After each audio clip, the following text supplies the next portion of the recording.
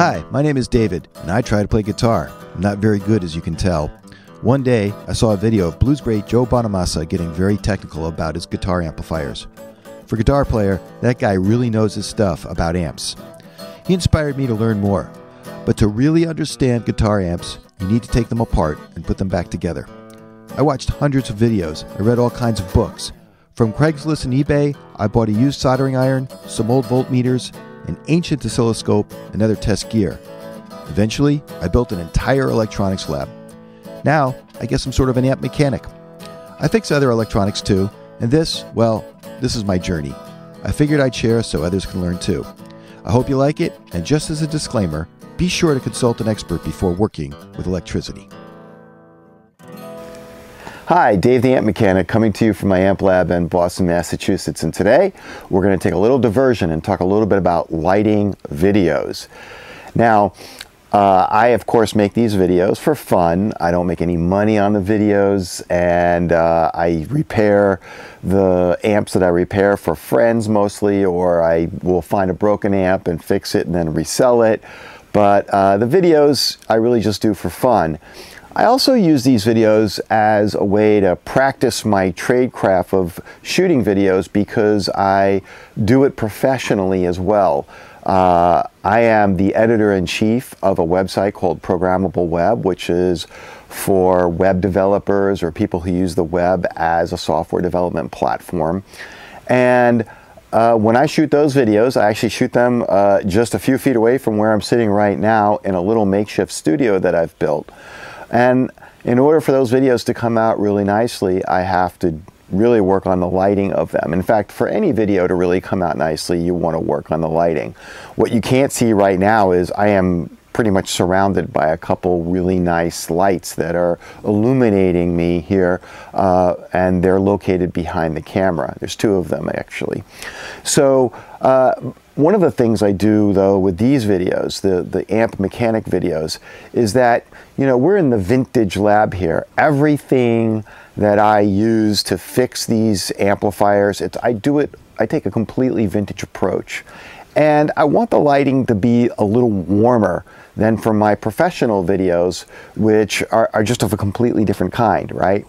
Uh, there's something about you know these lights up here these are old gas station lights and you know just keeping a little bit of that warmth going so uh, I thought I would share with you how it is I build my own video light panels to light the professional studio now for my professional video studio over there I've got a couple uh, LED light panels that were purchased on Amazon relative to the old days when you used Omni lights from Lowel to light videos, uh, in fact, that's what I'm using to light this video right now, uh, they're pretty inexpensive, but they're still quite a bit of out of, out expense to the amateur videographer. And so one way to overcome that expense is to actually build your own LED lights. And that's what I'm going to show you how to do today. It's relatively simple. It's a quick video here. And uh, we start, for example, with a strip of LED lights that you can buy on Amazon. Now, the killer here is, is that the uh, LED lights that were purchased for Amazon were probably something like about, uh, I think, $70 each and uh, they don't even work that well quite frankly. One of them is got a little bit of a flashing problem and I have to send it back. Uh, meanwhile if you make your own light panel with these they can be pretty reliable. And on top of that if you use some spare scrap parts that you find laying around your house or just even go and buy some of that stuff the total cost is going to be very inexpensive. In my case uh, I think my out of pop pocket expense was about $15 for a huge light panel. And uh, here it is, I'm showing you that light panel in action right now. And uh, that light panel was made from uh, one of these and then just a bunch of scraps, some scrap aluminum, uh, some scrap wood, uh, some scrap wires that I had around the lab. Uh, if you had to buy some of that scrap stuff, eh, you know, it probably cost you another 10 or 15 dollars. $30 is not bad for a big light like this. Now, some people may have to buy their own power supply and that might be a little added extra expense. In my case, over the last, I don't know, 10, 15 years, whenever I have had to get rid of uh, some electronic device like a computer or something like that, uh, speakers that needed one of those power supplies, I kept the power supply thinking, who knows, I might need it in the future uh, in the event of some other power supply goes bad. So now I have a collection of those things, big collection, and uh, some of them are coming in handy for these lights. So let's get to the part of building the light so you can see how I did it. Now the first thing I did was I took a big piece of plywood that I had laying around and I cut it up into three equal pieces that I thought would make a good size for a light panel, for three light panels, that is. And then the next thing I did was I got some aluminum that I had laying around the house, like aluminum sheathing, and it was very thin and easy to cut with just a pair of scissors, and I cut the aluminum up to match uh, the, the, the, different pieces of plywood that I had. Um, again, all the same size, so I cut all the aluminum to the same size. Now the reason I did that was for two reasons actually. One, I wanted the reflective uh, property of the aluminum so that any light that was on the light panel would uh, definitely shine towards whatever I was pointing the light panel at. And the other reason I did it was for heat dissipation. Um, I really didn't know how much heat these lights give off. Uh, all I knew was that uh, lights get hot. Uh, and so I thought, well, in the event that I need a little bit of heat dissipation, this will help dissipate the heat. Now, if you take that aluminum sheet and you put it flat on the piece of plywood, there still needs to be a way for that heat to vent, right? So then what I did was I took a regular drill uh, with a one and a half inch drill bit and I drilled a whole mess of holes in the plywood as a way for the heat to escape uh, from the aluminum.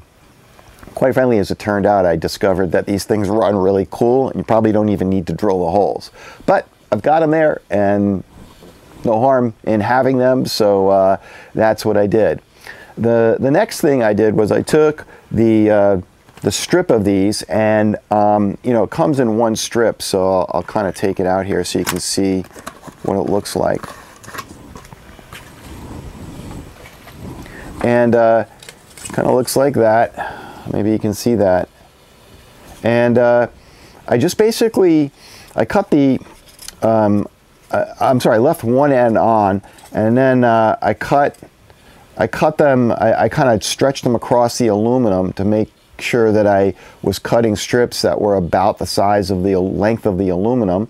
And then I just cut a bunch of equal sized pieces and uh, and after that I took the adhesive backing off. These have adhesive backing on them and I um, uh, just applied them to the aluminum. Now one thing to keep in mind is that when you're lighting videos uh, you, and you're building these light panels, you, you kind of want to figure out what light intensity and brightness you're going to use. For example, like I said, these lights are a little bit warmer than I'm using here. Uh, you might want daylight um, uh, LEDs, you, which are much brighter. You might want uh, warmer lights like this. And so when you buy the lights, you have to look at the specifications on the uh, back of the box or when you're looking at Amazon, read what it says. It'll tell you what the LED uh, type is. Um, it's sort of like the same thing as white balance in your camera. Um, and you're going to want to white balance your cameras against this light anyway. So whatever light you pick, make sure you white balance your cameras for them. Now, for daylight lighting, uh, you want roughly uh, 5,500 uh, in there. Um, that's that's the rating of your daylight LEDs, daylight lights, and uh, when you white balance your camera, it might even tell you, hey, I, am detecting about 5,500, 5,600. So um, uh, what I bought here were the 50-50. It was the closest I could get to 5,500 uh, good enough. And um, then you also, uh, you know, want to look at um, how many you get. And in this case, you get about, uh, you get 300 LEDs. Uh, so, and the length of this one is uh, let's see, I think the length of this one was something like five meters. Yes, five meters. I don't know if you can see that right there. It says five meters. So anyway, um, you want to be careful about what you get. If you want to, if you want something that's a little bit warmer, you want like these lights. You probably want something in like the 3800 range. Um, when I white balanced these lights uh, with my camera, it told me that it was detecting roughly 3800 when you go to like Home Depot and buy LED light bulbs, they'll show you the different light bulbs that they have in a little test box. Uh, it's kind of cool. It's right, you know, in the light bulb section, and you can see that the light bulbs are rated also for these different ratings. And so you may want to put some of those bulbs around you uh, and uh, to light your your backdrops or to light yourself. So the trick to setting up the strips and then soldering them together is pretty straightforward. First of all, you need to cut the strips in the right place. I may have failed to mention that earlier, and that's very important. And all you have to do is look very closely at the strips, and it will show you where you can make the cuts. When you're making those cuts, make them as accurately as you possibly can. And the reason I say that is because you want as much surface there to lay some solder down as you possibly can. Uh, if you miss in either direction, uh, then you're reducing the amount of uh, surface area that the uh, solder can be applied to. Now, once I had the strips cut up and pasted down onto the aluminum surface, the next thing that you need to do is, is pretty straightforward. You cut a bunch of little pieces of, of wire up uh, and you can see I've got a little pile of wire here. I basically uh, used you know one color for uh, the positive and one color for the common, and then uh, all you really have to do is solder uh, all the uh, common leads to each other at the end of the strips, and then all the positive leads. It's marked pretty straightforward. And so from one strip to the next, you just solder up the negatives, and then from one strip to the next, you solder up positives. And what's really cool about this is that you don't necessarily have to do it the way I did it, which is I did the uh, negatives on one end of the strip and the positives on the other. All you have to do is get, a, get it on either end, uh, and, uh, and you're good to go. So, you know, in my example, um, you know, you take the, the wire that, as it comes from the manufacturer, and uh, one end of that uh, strip has the uh, connector for your power source, right? So you just leave that on there. And from there, you can just um, hop on down the line and solder them up. Now, I, I used one end of the strip for the, the, uh, um, for the hot lead and one for the common, mainly just to uh, you know, keep the wires from getting all tangled up with each other. But you don't have to do it that way. Um, like I said, all you have to do is uh, get it, no matter how you get it, just get it, uh, and, and you're off to the races. Now, what I did was after I had my strips down, and I had my plan worked out for how I was going to, going to attach each strip to each other, uh, to the other ones. I, um, I tinned the, the little copper spot there where at, at the end of the strip. So I, I went and I tinned all the uh, strips. Uh, and then once the strips were tinned, then I tinned the wires. Uh, and then it made a, a, real sense just to kind of uh, hook them all up and uh, solder them down. And that was it. I mean, it was really straightforward from there. Then the next thing I did was, you know, I went through my power supplies and looked for the best possible power supply that I could find. Now in terms of picking a power supply for your newly built light panel, uh, it's relatively simple to either buy one or pick one from a stash that you might have, like the stash that I have. First, you have to look on the packaging for the light strip you, you purchased and double check to see what it says in the way of power requirements. Now I'm looking at mine and it says that the uh, working voltage is 12 volts DC and the wattage is 18 watts. So that's telling you about half the information you need to know, which is that you need a power supply that's capable of 12 volts. But what you also need to know is what the amperage rating of that power supply should be. And that's relatively easy to figure out because all you have to do is divide the watts by the volts and it gives you some idea of the number of amps that you are that, that you need. In this case, we take 18 divided by 12 and we get one and a half amps. And so when I went through my stash of power supplies, I actually found three power supplies that were in the neighborhood and looked like they would do the job. So I went ahead and uh, pulled those three out uh, one of them will support my newly built light panel and the other two will be used for my other light panels. But what you need to do is you need to look on the power supply itself because it'll tell you the information you need.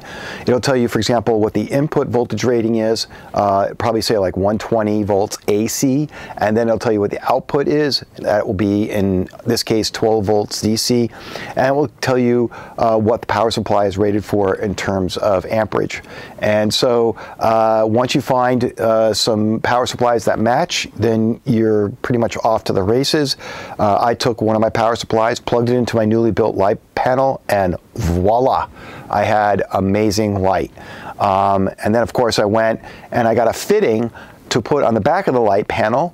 Uh, that attaches to any standard light stand. I bought that at B&H Photo. I believe it cost me somewhere in the neighborhood of uh, $11. I didn't really need that, but uh, for my specific application, which was to light not only uh, my uh, torso and my face up, but also to throw some more light on the backdrop. Uh, this uh, the light stand I had is up in the air and, and I needed a way to mount the new light panel to that stand. So uh, that created an amazing light for the fraction of a cost uh, uh, of the same kind of light if you were to purchase one out there.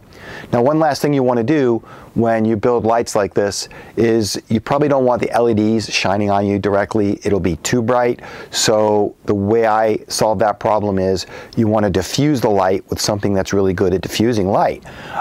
You could go out and buy gels from places like B&H Photo for a ton of money. Uh, I think like eight, nine dollars just for a little 24 inch by 24 inch sheet, which is barely enough to cover one light. In my case, uh, I learned of a trick that uh, is way less expensive. What you do is you go to IKEA's website, you buy the Schottis pleated shade. It's a white shade that's partially translucent. It's designed to let sunlight through. And it comes in a six foot by three foot size for $4.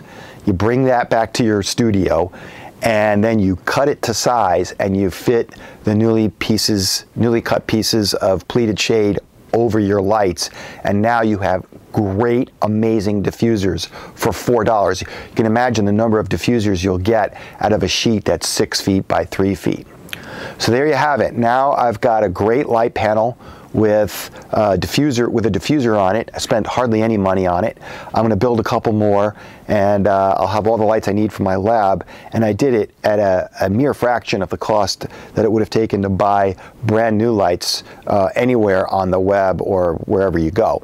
So uh, if you have questions or whatever, leave them uh, below the uh, the video here. Otherwise, uh, you know, have fun building one of these yourself, and I'll see you at the next video. From Boston, Massachusetts, I'm Dave the Amp Mechanic. I hope you had fun.